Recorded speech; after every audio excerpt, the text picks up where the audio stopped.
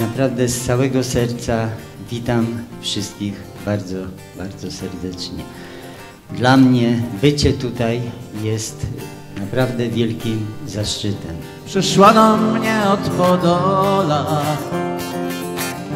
Zamieszkała w żółtym lesie Przegoniła wiatr po polach Spadła deszczem ku mnie jesień A na niebie w szarych chmurach Słońce warkot splotło włosy.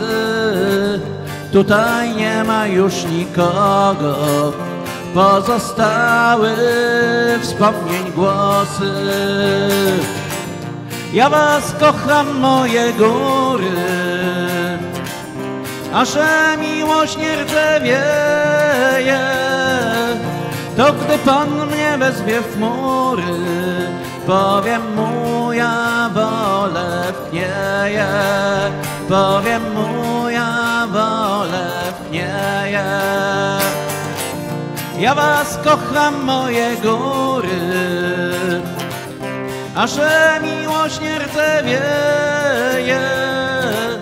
To gdy Pan mnie wezwie w chmury Powiem mu ja wolę wknieje Powiem mu ja wolę wknieje Powiem mu ja wolę wknieje E, Film powstawał przez trzy lata. Pracował nad nim cały sztab ludzi na czele z Robertem.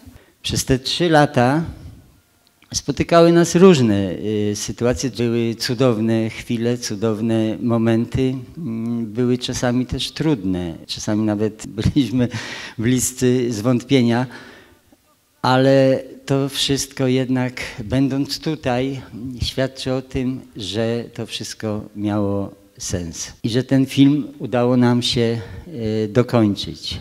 Jak zaczynaliśmy tworzyć ten film, myślałem, że robię dokument o przemijaniu, o tym, czego już nie ma. Nie ma chatki, Lutek szedł z Połoniny i nagle uświadomiłem sobie, jak bardzo mylę się. Mylę się, bo dowodem na to jest chociażby to, że jest tu tyle młodych twarzy. I pewnie, tak jak Lutek w filmie powiedział, y, wszystko przemija, wszystko y, idzie gdzieś tam w zapomnienie, a Bieszczady zostają. Tak ja zrozumiałem, że chatka, że Lutek, że Połonina i to, co tam wszyscy przeżyliśmy, zostanie. Zostanie w naszych sercach, w naszej pamięci i nigdy nie przeminie. Zapraszam naprawdę z całego serca serdecznie na film. Kiedy ostatnio byłaś na Połoninie? Och, to już było chyba. No chyba ro- rok temu.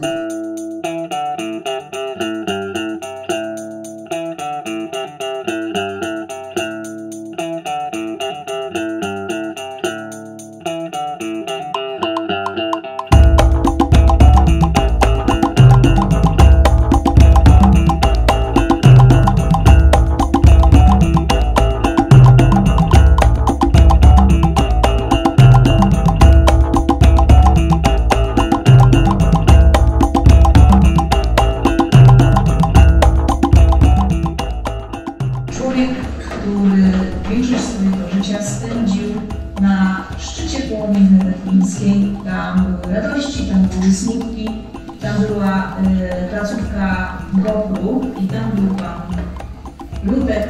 A jaki pan miał tam ten telefon? Tomek? Jakie miał tam tam zwierzątka? A czy pan miał zęby? Czy pan miał dużo ubrań?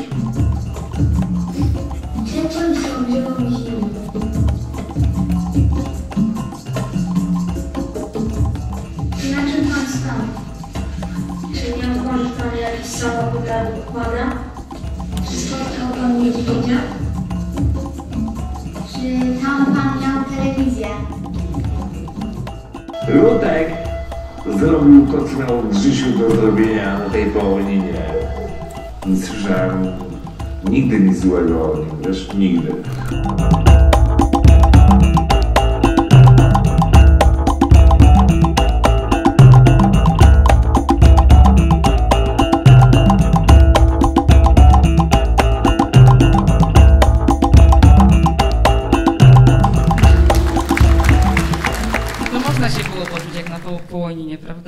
Ja jak tutaj przyjechałem, ja nie miałem pojęcia, kto to jest y, Lutek. Ja nie miałem pojęcia, gdzie jest chatka puchatka. Po prostu na przeglądzie filmów y, górskich w Łuszczykach był pokazywany nasz film i tam y, pomysłodawcą tego wszystkiego był właśnie Witold Tomaka, który tutaj siedzi. Mówi, wiesz co, tu jest taki facet, o którym warto zrobić film. Pojechaliśmy chyba na drugi dzień, Poznaliśmy Ludka, namawialiśmy go 10 minut chyba, bo nie chciał, nie chciał, ale po 10 minutach zgodził się. I dwa miesiące później byliśmy już na planie filmowym. Ja osobiście y, trzy lata temu y, byłem zachwycony, że powstaje film, ale potem tak, powstaje, powstaje i nie ma go. Ale dzisiaj y, mówię to bez kapelusza, z pokorą zupełnie i z radością, że zrobiliście naprawdę coś y, wartościowego, coś bardzo ważnego. Trzy lata pracowaliśmy nad tym filmem, więc y, ten scenariusz pierwszy nie ma nic wspólnego z tym ostatnim. Ten scenariusz cały czas się zmieniał. Przy czym y, musieliśmy również porzucić pewne nasze pomysły początkowe, pierwsze koncepcje na film, dlatego że, tak jak Państwo znacie, Ludka jest nieprzewidywalny. Pewne rzeczy się zmieniały, wychodziły inne emocje, ta emocjonalność Ludka jest widoczna w kontakcie ze zwierzętami, więc naprawdę musieliśmy być bardzo otwarci na rzeczy, które się pojawiają w trakcie powstawania filmu.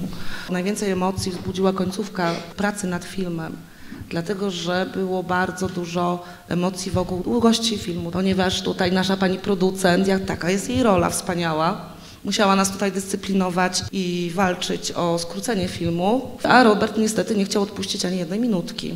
Przez miesiąc się nie odzywaliśmy.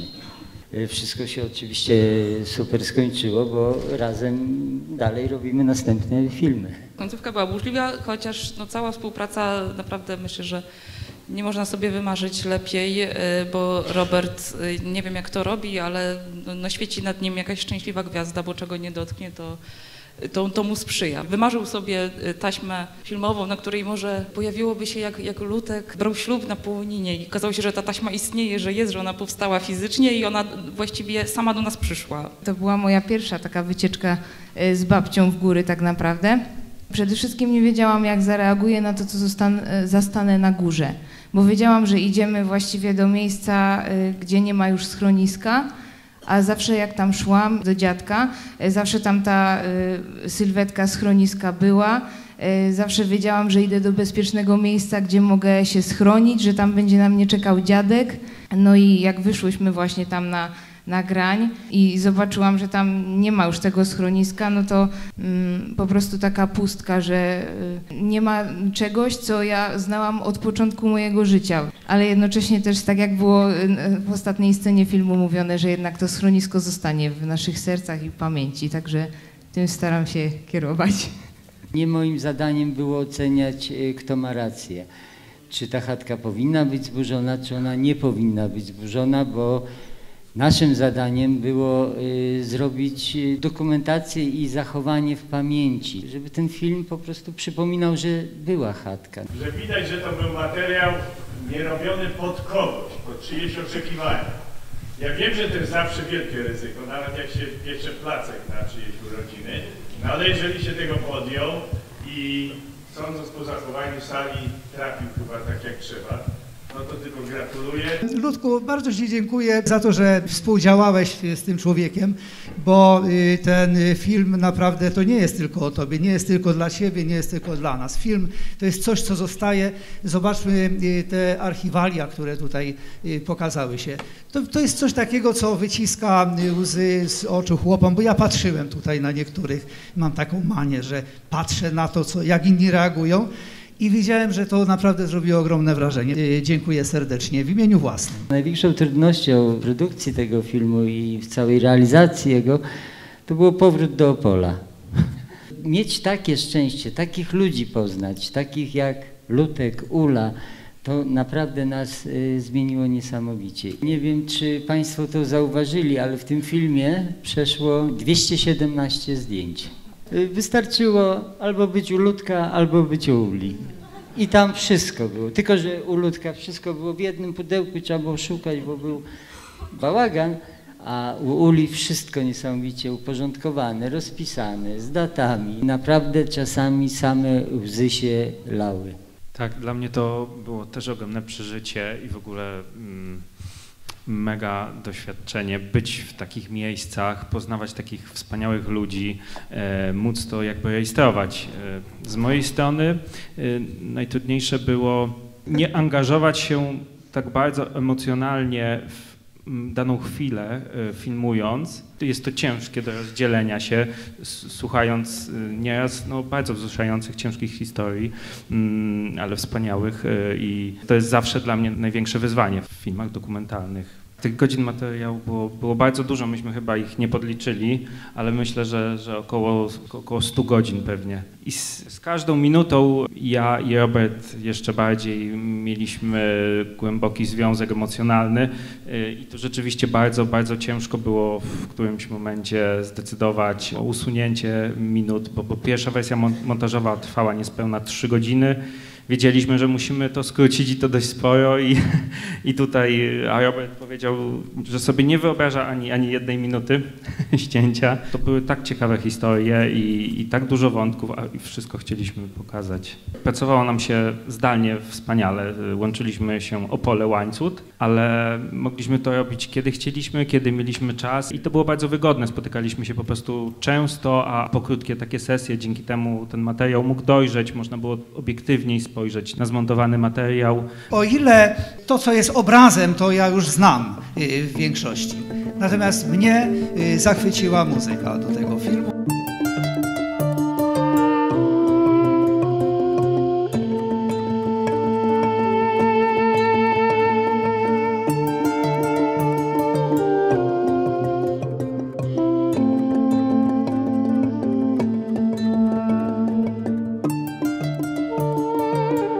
Razu zadzwoniłem do Roberta i spytałem się, y, gdzie się pan Lutek urodził. I powiedziałeś, że urodził się w byłej Jugosławii, w Bośni.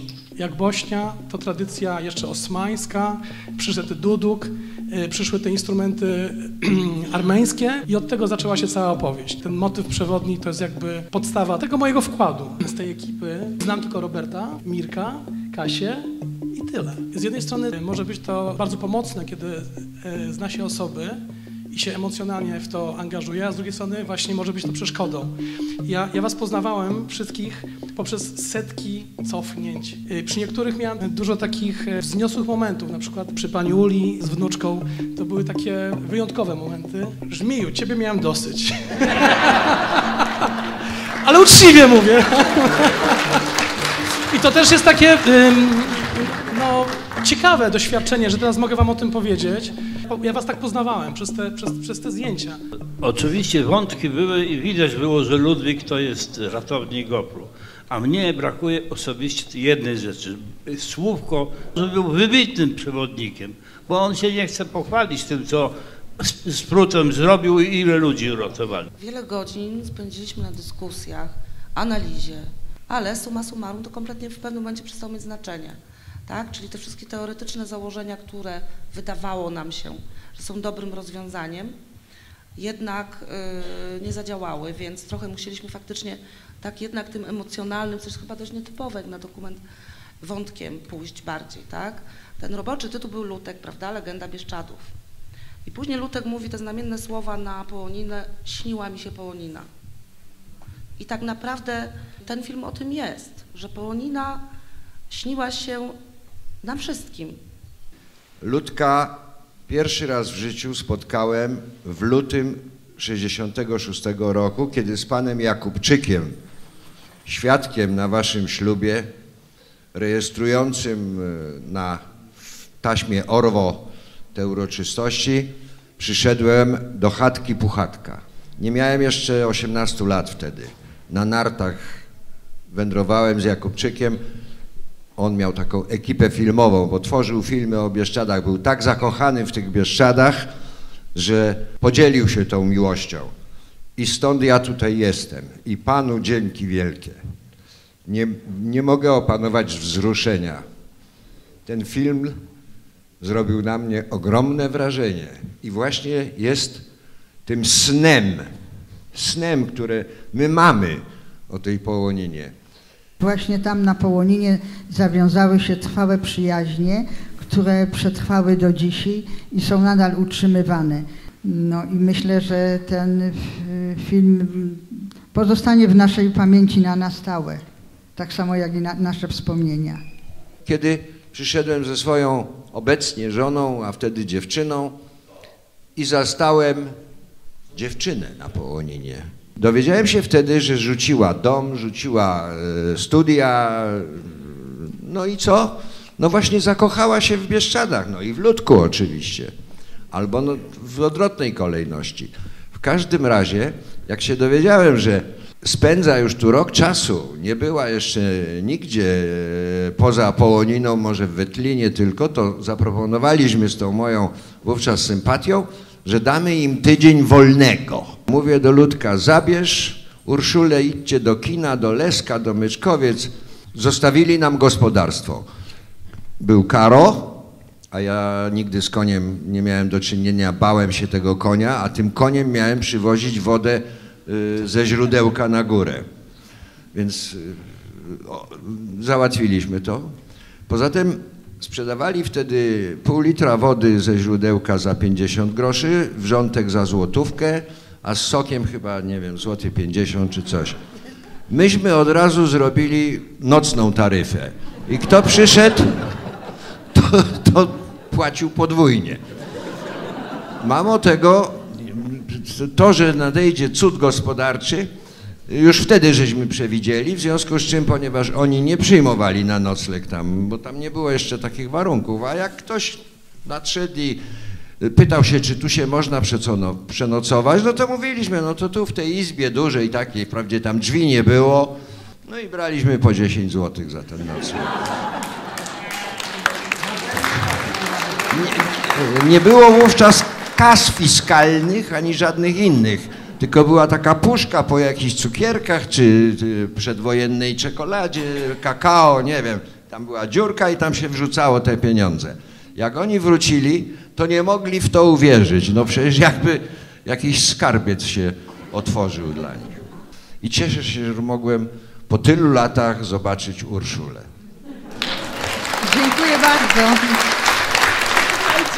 Po raz pierwszy w Bieszczady mój profesor Andrzej Sucharzewski zaprowadził mnie w 71 roku. Po raz pierwszy na Połoninie byłam w 72 roku. Ile razy ja tam byłam, nie wiem i żałuję, że na jakiejś lasce nie nacinałam, bo bym mogła powiedzieć. Ale słuchajcie, któregoś razu, jak szłam kolejny raz w tygodniu na Połoninę, tak mnie jeden z dzieciaków zapytał. Mówi, ale jak to jest, że my tu pod górę już tracimy siły, a pani się odwraca śmieje i stale opowiada. Ale to jest ta miłość. Do czego? Do miejsca, do gór, do ludzi. Także słuchajcie, wszystkim zakochanym w górach, w chodzeniu, w przyrodzie i w ludziach naprawdę składam najserdeczniejsze podziękowania, a w szczególności Wam, że zrobiliście tak piękny film. Bardzo dziękuję. Jaworina, Jaworina, kacy, Jaworina, mami, lama modre,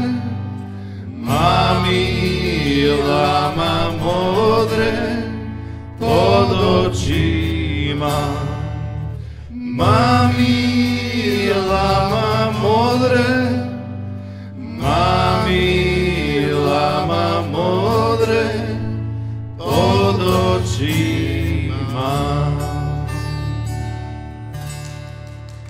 Dziękujemy bardzo. Dziękujemy.